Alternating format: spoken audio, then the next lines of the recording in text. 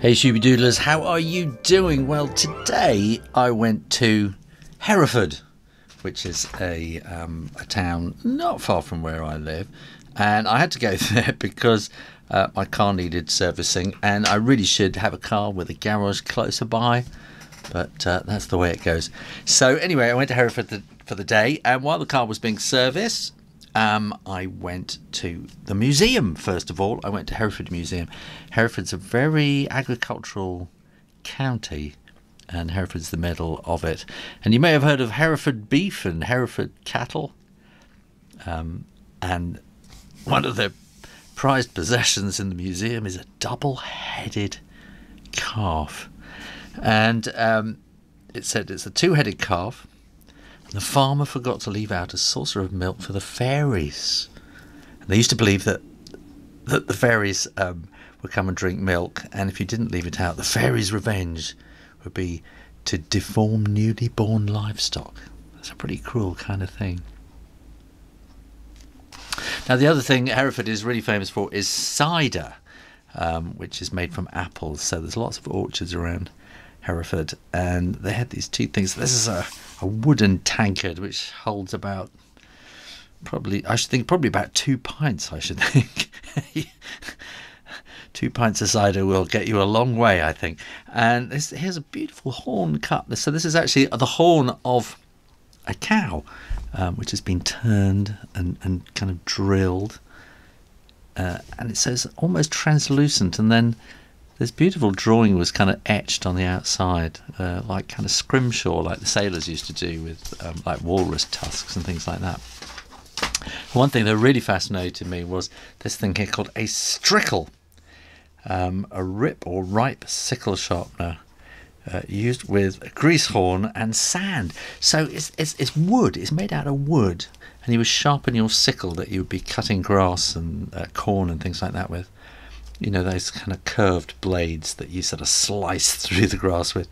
And so this horn again has been sort of hollowed out and and a slice has gone through there and there's a, kind of a metal blade goes in there to hold the grease inside it. So you pull the blade out of it, obviously take a scoop of grease, smear it down the side of the wood here. So you've got the handle and, and this it was about um, this part here was about sort of 30 centimeters, probably about a foot long, and and in it it was pitted, so it got gouged out these little pits, little kind of holes, and so you smear grease all over it, and then you put sand on it, and the sand will then eventually work its way into these little pits, and then you sharpen the blade on there, and the sand is the actual abrasive that sharpens it. And you'd have thought that a piece of wood would kind of wear out in no time, but obviously the sand kind of protects it. And you know, you'd expect to use a piece of steel or a piece of stone or something to sharpen a sickle with. I was really amazed that a piece of wood and sand and grease would would last. And they had these wonderful paintings there of Hereford bulls uh, and these are famous bulls. This one's called Victory, number 33. So these are in a, actually in a catalogue. So these I've, I've, copied the original, oh, copied the original paintings. Uh, just did quick little sketches, uh, and from the paintings they did little uh, sort of etchings or something, which went into a catalogue of famous Hereford bulls. and also they had this wonderful clock. So I suppose that was about oh Mm, two or three, about almost three feet. No, no, two and a half foot wide, I suppose. was one, three, three, six, 60, 60, 60 70 centimeters wide. And and I just love the these arrows. So it's a very kind of Art Deco clock. From the 1930s, it was the cinema clock at the Odeon Cinema in Hightown in Hereford. Anyway, I left the um, the museum and I went for a little walk and I found a place called Offa Street. And Offa was a king. Oh, in about sort of I don't know 700 or something like that. And he built Offa's Dyke right the way across the edge of England, on the border of Wales, to keep the Welsh out of England. and you can uh, walk along Offa's Dyke. There's not much of it left really, but there's a sort of an Offa's Dyke walk now. And so Offa Street is kind of a very ancient kind of name. And there on the corner is the Hereford Cattle Company. This is their sign. And and, and they have a kind of a corner um, entranceway with this portico, what do you call it, as a canopy outside the door with a Hereford bull. A very well endowed Hereford bull. Got a model on the top.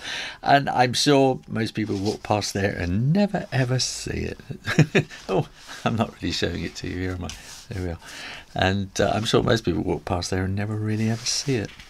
So what happened then? I went to the old cattle market and um, I had a cup of coffee, sat there watching people. I saw these two people sitting on. I was quite ama- amazed. To, I'm amazed to see people smoking these days.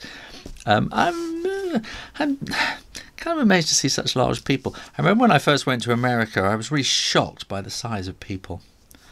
And um, I went there last year and was surprised at how people aren't quite so large as they used to be. And we seem to have taken over in this country, and we seem to have some very large people. I know I'm, I'm not as sylph-like as I could be, but um, we have some very large people in this country. And um, so this was in the old market. Um, where I mean, it was the cattle market, so it was a very serious kind of business, and all the cattle used to come there on a Wednesday, and they'd all be sold and moved on, and um, and then we had this terrible thing uh, in the 2000s. Uh, I can't remember quite when it was. Um, we had uh, a great big uh, foot and mouth disease thing, and, and, and no animals were allowed to move around the country at all. And all these old cattle markets, they all closed. But as the uh, internet came in and they all started being sold online, and suddenly all these cattle markets that had been there for hundreds, thousands, well, maybe thousands of years, um, were of no use anymore. So they've all been demolished and turned into shopping centres. And the lady from the toy shop, uh, it was a hot, hot Friday morning, no business. So she was out with her, with her gun blowing bubbles, trying to drum up trade. I gave her a smile and she smiled back. and you remember the clock here from the old Odeon? Well, this is the new Odeon, which has been built on the site of the old cattle market as part of this shopping centre, and I wrote "Gone the Art Deco." I wonder what this style is called. As a building style, and whether it's got a name, and whether anyone will care in a hundred years' time. And and I wondered whether they still had a clock. I ran out of time. I was thinking of actually going inside and seeing if they had a clock in the new Odeon. They've still got the same lettering, so there is something that kind of connects them to the old Odeon cinemas.